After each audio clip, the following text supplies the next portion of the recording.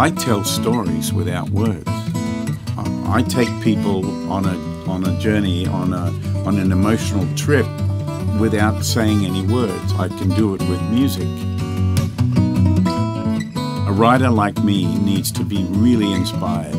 And when inspiration strikes, you need to be ready. You need to have your sword sharpened. So, you know, I've got my guitar with me all the time. I don't think like a, a, a guitar player that I'm writing a song for a guitar player at all. I think I'm writing a song for a singer and a band.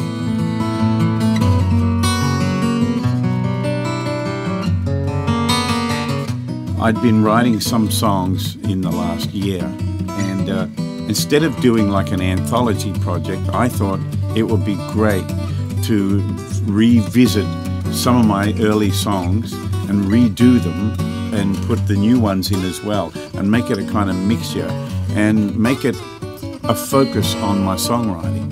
And then I thought, well, these songs sound like me and I, I don't write like anyone else, so they're Tommy songs.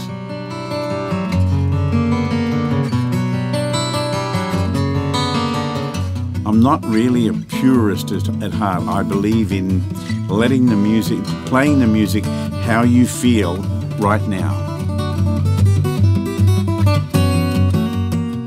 I hope that in 50 years' time, if someone picks up Tommy's songs, they'll go, Who's this young fella? Wow, I like the sound of his guitar. And wow, did he really write all those songs? Hmm, not bad for a kid. Wow, that'd be good.